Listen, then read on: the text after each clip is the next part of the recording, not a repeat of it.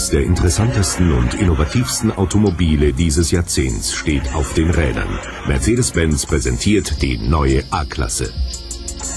Bei einer Außenlänge von nur 3,57 Meter vereint die A-Klasse die positiven Merkmale vier unterschiedlicher Fahrzeugtypen. Stadtwagen, Familienauto, Reiselimousine und Minivan. Zugleich gehen mit dieser neuen Modellreihe über 20 technische Neuentwicklungen in Serie, die es bisher in dieser Fahrzeugklasse nicht gab.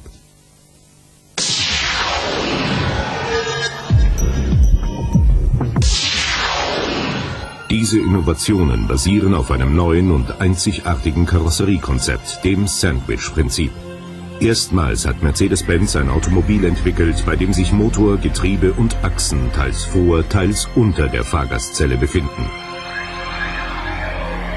Dadurch entsteht ein geräumiger Innenraum, dessen Boden von vorne bis hinten vollständig glatt und eben ist. Das vordere Ende der stabilen Längs- und Querträgerstruktur besteht aus einem Frontmodul aus Aluminium mit zwei seitlichen Crashboxen. Sie sind mit den Längsträgern verschraubt und lassen sich nach einem Unfall schnell und kostengünstig auswechseln. Gewichtseinsparung durch intelligenten Leichtbau. Neben dem Frontmodul helfen höherfeste Stahlsorten, Gewicht abzuspecken und Kraftstoff einzusparen. Der verstärkte Einsatz von Kunststoff ist eine weitere Leichtbaumaßnahme. Die Kotflügel bestehen aus Polyamid-Kunststoff. Nach einer kleineren Karambolage nehmen die vorderen Kotflügel automatisch wieder ihre ursprüngliche Form an. Auch die Heckklappe besteht aus Kunststoff und hält einem Aufprall mit 15 Stundenkilometern Geschwindigkeit ohne Beschädigung stand. Die Wärmeformbeständigkeit des Kunststoffs wurde im Labor und in der Praxis getestet und optimiert. Ein Tag in dieser Klimakammer entspricht einem Jahr intensiver Sonneneinstrahlung im Death Valley. Im Windkanal, auf der Suche nach der aerodynamischen Bestform. Die ungewöhnlichen Proportionen stellen ein Handicap bei der Verringerung des Luftwiderstands dar. Trotzdem, der CW-Wert der A-Klasse beträgt nur 0,30, ein Spitzenergebnis in dieser Fahrzeugklasse. Intelligente Details wie die Abrisskante an der Heckklappe und der glatte Fahrzeugboden machen dieses Ergebnis möglich. Ein weiterer Aspekt, die schmutzfreie Haltung von Außenspiegeln und Seitenscheiben, ein Beitrag zur Fahrsicherheit. Die Wasserablaufrinne im Bereich der A-Säulen hält die Seitenscheiben auch bei starkem Regen schmutzfrei.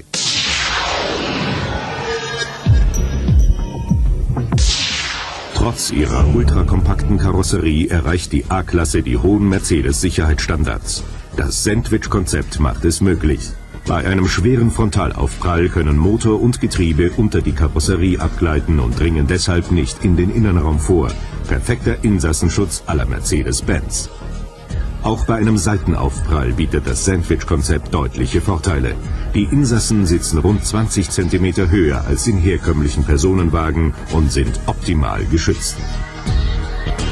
Selbst beim härtesten Crashversuch, dem sogenannten Mastaufprall, dringt die Antriebseinheit nicht in den Innenraum ein.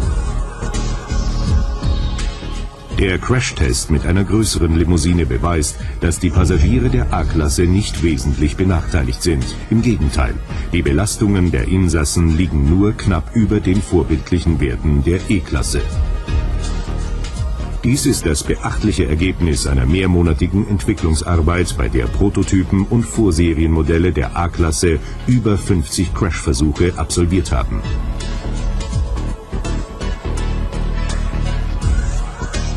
Das Rückhaltesystem entspricht den neuesten Erkenntnissen der Sicherheitsforschung. Airbags für Fahrer und Beifahrer sowie Sidebags in den vorderen Türen gehören zur Serienausstattung der A-Klasse.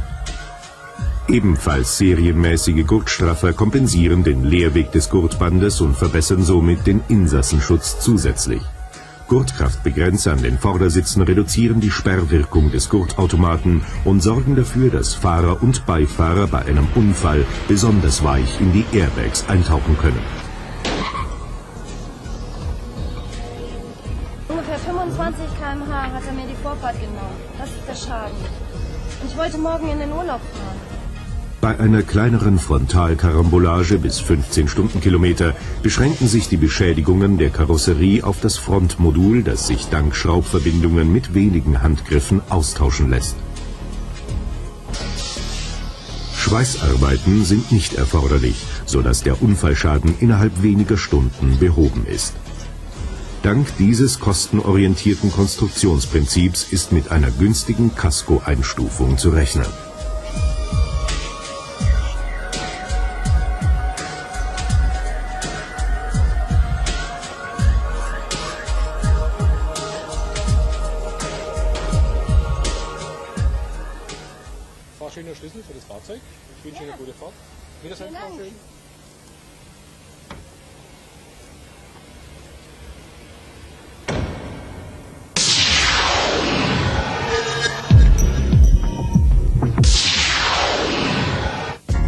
Innenraum beweist die A-Klasse ihre wahre Größe. Raumkomfort und Variabilität liegen auf sehr hohem Niveau. Die Länge des Innenraums misst 1,83 Meter und liegt damit auf dem Niveau der C-Klasse, deren Karosserie gut 90 cm länger ist. Dank einer vielseitigen Fondsitzanlage und eines demontierbaren Beifahrersitzes lässt sich der Innenraum der A-Klasse mit wenigen Handgriffen individuell gestalten und vom 5 zum 4, 3, 2 oder Einsitzer verwandeln. Ganz nach Wunsch oder Transportaufgabe. Auf diese Weise bietet das neue Mercedes-Modell insgesamt 72 verschiedene Sitzvariationen. Das Ladevolumen der A-Klasse entspricht den Werten großer Kombimodelle. Je nach Position der Vorsitze fasst der Laderaum nach der VDA-Messmethode bis zu 1300 Liter. Ohne Beifahrersitz sind es sogar 1700 Liter. Die Vorsitzbank lässt sich um maximal 11 cm nach vorne schieben, sodass im Kofferraum noch mehr Platz zur Verfügung steht.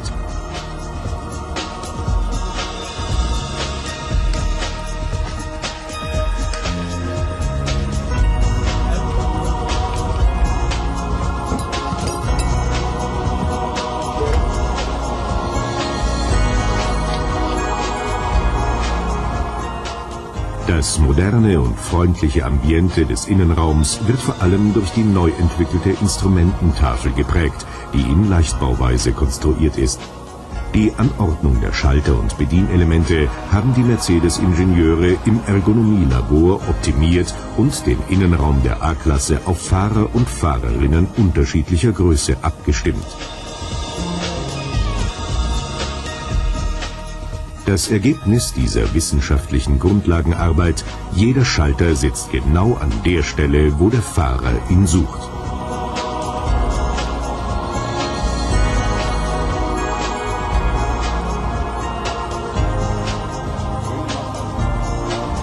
Eine Neuentwicklung ist auch das innovative Lamellenschiebedach, das auf Wunsch für die A-Klasse lieferbar ist. Es besteht aus fünf einzelnen Stahllamellen. Die Dachöffnung ist rund 60 Prozent größer als bei einem herkömmlichen Schiebedach. Aufwendige Tests garantieren eine hohe Zuverlässigkeit dieses Bauteils.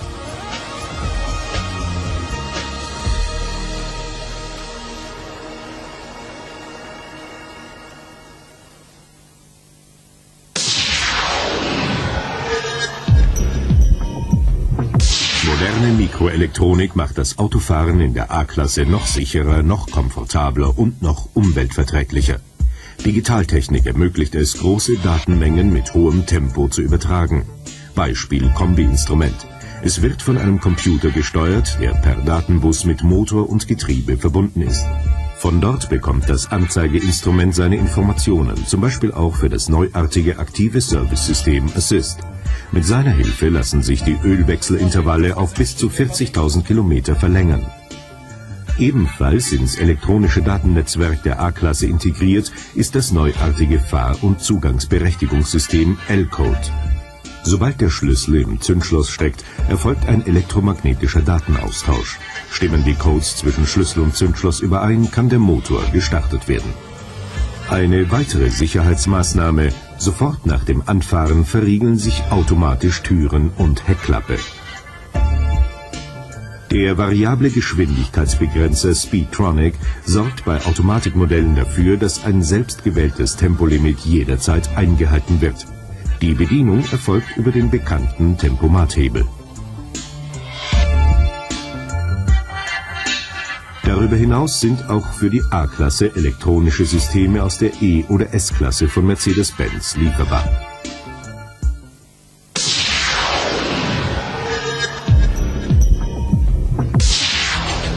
Für die Modellreihe stehen vier Vierzylindermotoren zur Auswahl, die weltweit zu den wirtschaftlichsten Triebwerken ihrer Hubraumklassen gehören.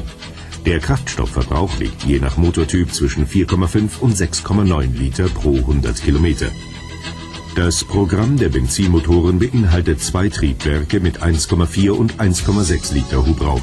1998 werden zwei moderne Turbodieselmotoren mit 1,7 Liter Hubraum folgen. Somit liegt das Leistungsspektrum der Motoren für die A-Klasse zwischen 60 und 102 PS. Motor und Getriebe sind bei der A-Klasse elementare Bestandteile des gesamten Karosserie- und Sicherheitskonzepts. Der Einsatz modernster Entwicklungsverfahren machte die Konstruktion von Antriebseinheiten möglich, die sich für die spezielle Einbaulage schräg vor dem Pedalboden eignen und die aus dieser Position beim Frontalaufprall unter die Karosserie abgleiten können. Weitere Entwicklungsschwerpunkte waren die Verringerung der inneren Motorreibung und die Verringerung der Abgasemissionen. Die Triebwerke der A-Klasse haben das Potenzial zur Erfüllung künftiger Schadstofflimits.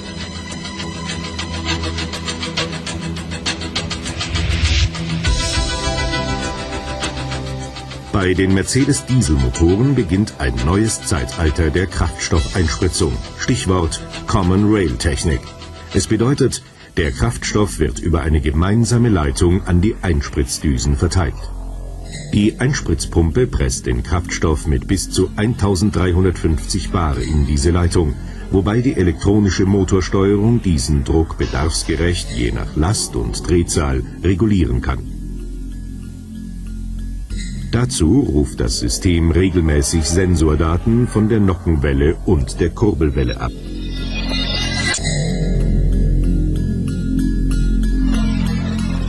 Den Zeitpunkt der Einspritzung und die Dosierung des Kraftstoffstrahls steuert der Computer mit Hilfe spezieller Magnetventile an jeder Einspritzdüse.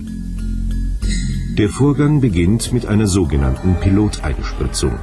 Eine kleine Kraftstoffmenge strömt dabei vorab in die Zylinder und wärmt bei ihrer Verbrennung den Brennraum auf.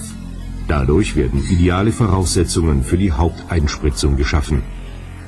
Die Ergebnisse Verbrennungsgeräusch und Stickoxidemissionen des Turbodieselmotors verringern sich deutlich. Damit ist das Common Rail System anderen Einspritzverfahren überlegen.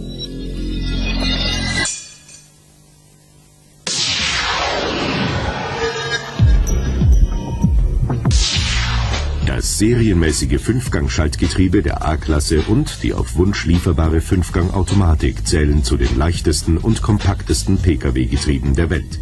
Das Schaltgetriebe wiegt nur rund 32 Kilogramm. Wie die Motoren sind auch die neu entwickelten Getriebe mit ihrer schrägen Außenfläche exakt an das einzigartige Karosseriekonzept angepasst. Premiere feiert auch ein neuartiges automatisches Kupplungssystem, das auf Wunsch als preisgünstige Alternative zum Automatikgetriebe lieferbar ist. Die automatische Kupplung arbeitet mit Sensoren, die den Schaltwunsch des Autofahrers erkennen. In diesem Fall öffnet ein Elektromotor die Kupplung und der nächste Gang lässt sich einlegen. Ist der Schaltvorgang beendet, schließt sich die Kupplung sofort wieder.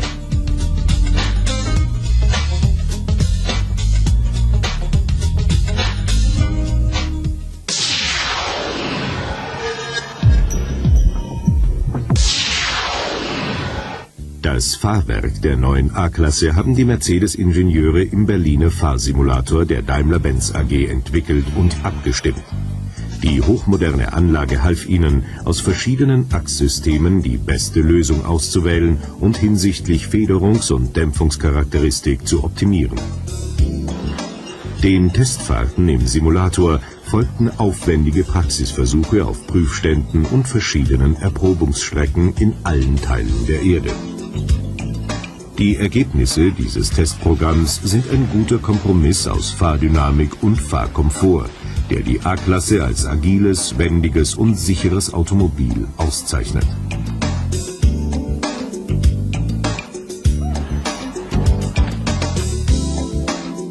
Vorn arbeitet eine McPherson-Achse mit Schraubenfedern, Dreieckslenkern, zwei Rohrstoßdämpfern und Drehstabstabilisator. Hinten setzt Mercedes-Benz eine Längslenkerachse ein.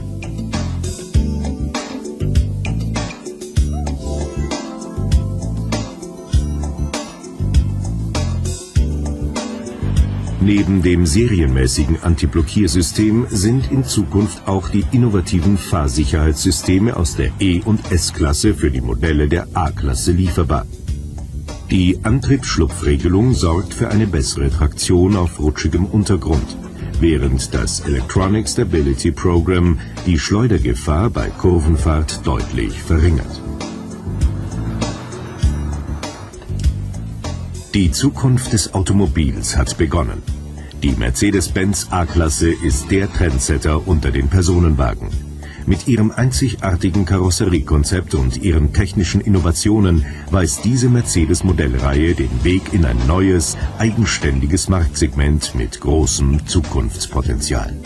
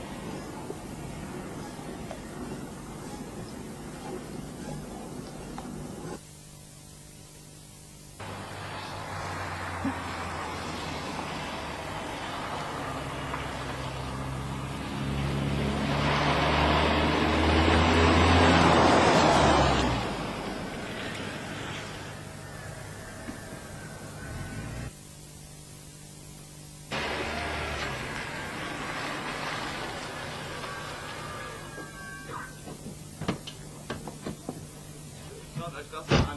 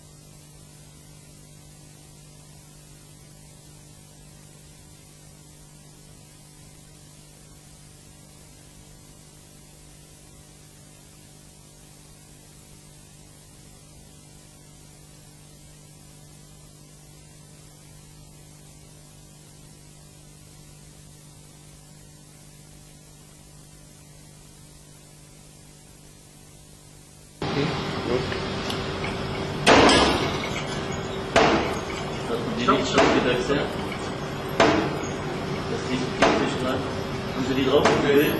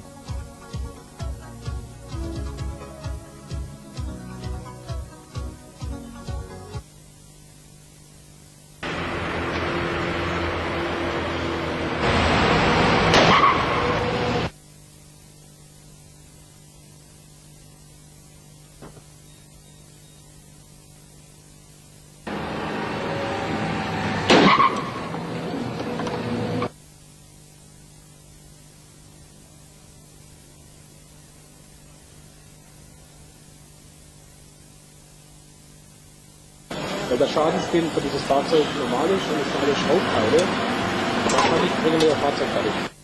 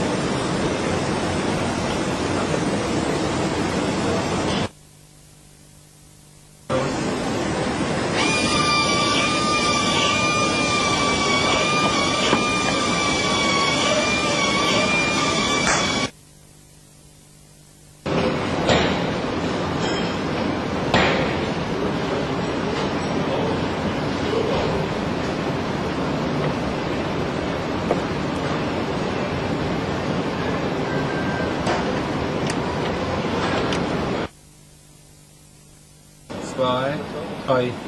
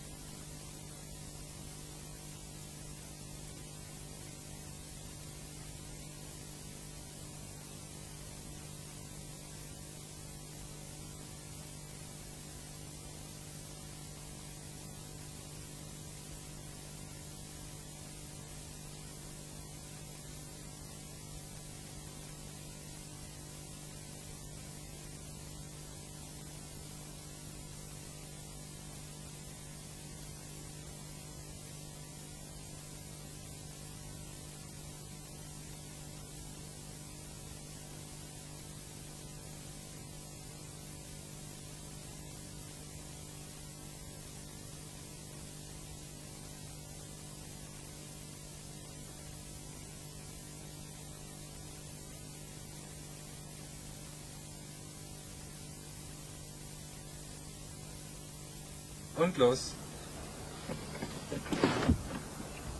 Und wieder zurück.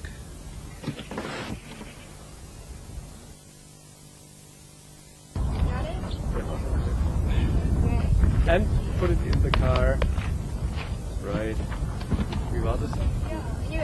Ja?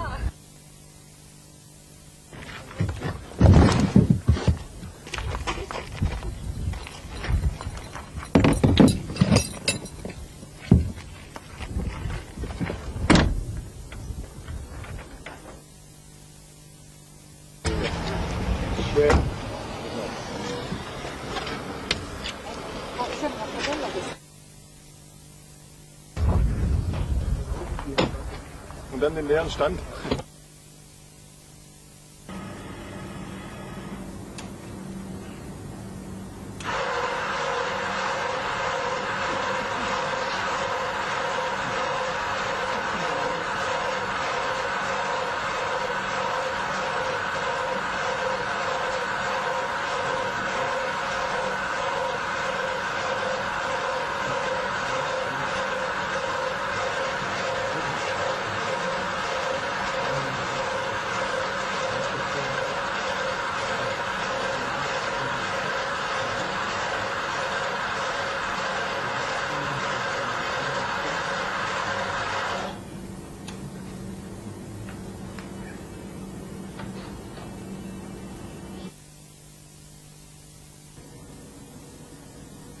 Und die Nummer 12 bitte, die Heizung verstellen.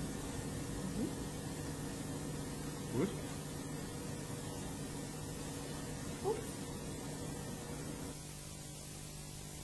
Kamera läuft. Und los bitte.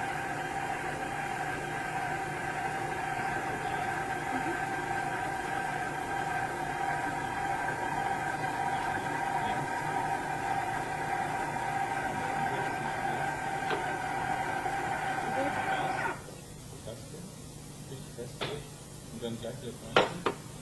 Und noch Gas geben. Die Kamera läuft. Bitte. Und Sie können ja ruhig auch probieren, während es näher kommt.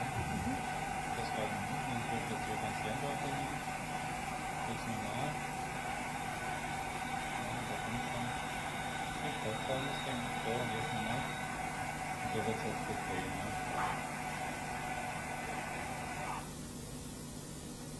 Okay.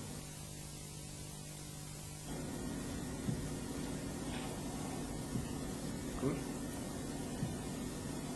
Als nächstes bitte den Schalter Nummer 10 in der untersten Leiste. Während der Fahrt werde ich Ihnen ein paar Aufgaben stellen. Sie können sich auch erstmal ein bisschen dran gewöhnen noch an die Art der Lenkung.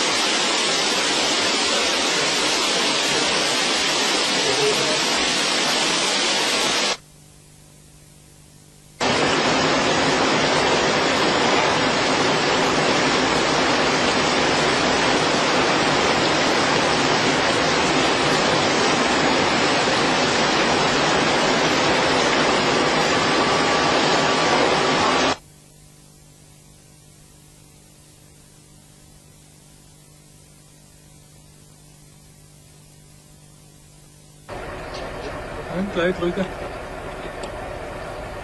Schneller? Ja. Egal. Okay. Und los. Und so.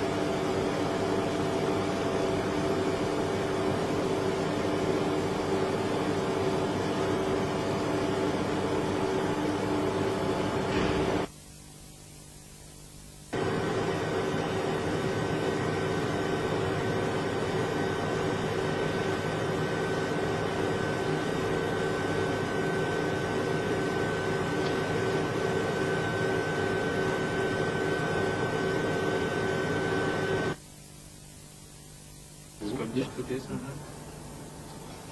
Hm? Nicht vergessen.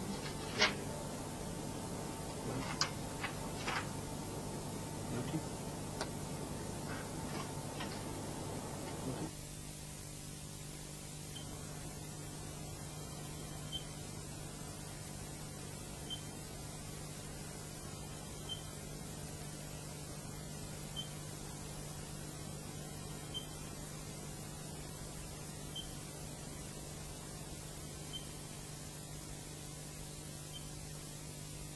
Vier, drei,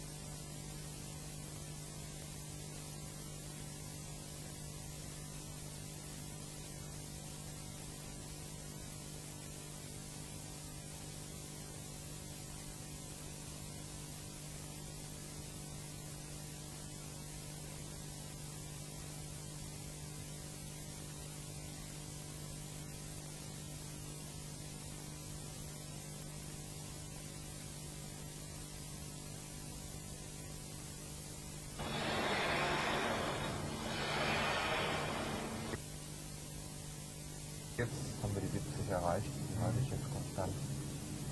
Und? Das Was lässt sagt sich der Sehr rund fahren. Das lässt sich sehr rund fahren. Sehr Keine Probleme, ja. Sehr So haben Sie auch unproblematisch. gefunden, ja. Jetzt habe ich einmal hier aufgepasst, okay.